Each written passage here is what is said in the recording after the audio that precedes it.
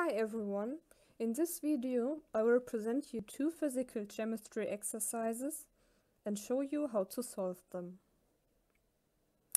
Exercise 14.25a Consider the combustion of hydrogen. Hydrogen plus oxygen form water vapor. If hydrogen is burning at the rate of 0.5 moles per second, what is the rate of consumption of oxygen? What is the rate of formation of water vapor? Okay, let's have a closer look at the reaction. 2 moles of hydrogen react with 1 mole of oxygen to 2 moles of water vapor. That's why the rate of consumption of oxygen has to be twice the rate of consumption of oxygen. A rate can be determined by dividing the change of the amount of a substance by the change of the time.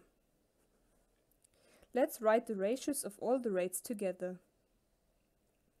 The rate of combustion of hydrogen multiplied by one half is equal to the rate of combustion of oxygen, which is equal to the rate of formation of water vapor multiplied with one half.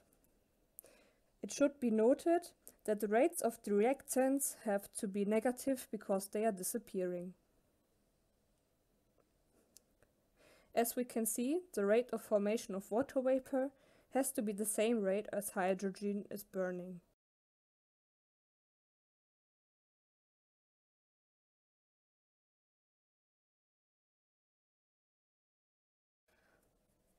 Now let's just look at the ratio of oxygen to water vapor. Because we know the rate of formation of water vapor is 0.5 moles per second, we can replace it in the equation. This means the rate of consumption of oxygen is 0.25 moles per second.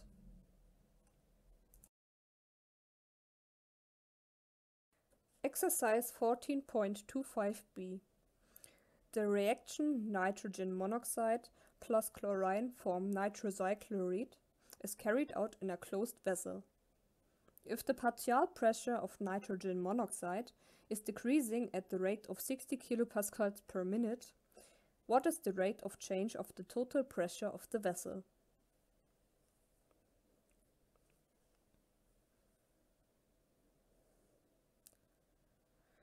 The quantity of the rate of change of the partial pressure of nitrosyl chloride has to be the same as the one of nitrogen monoxide. But because of the decrease of the partial pressure of the reactants, the rates of them have to be negative.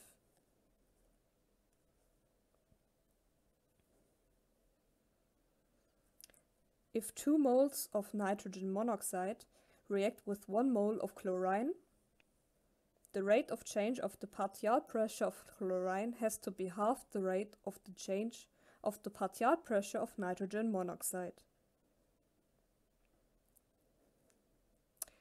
The entire rate of change is calculated by adding all the rates of change together.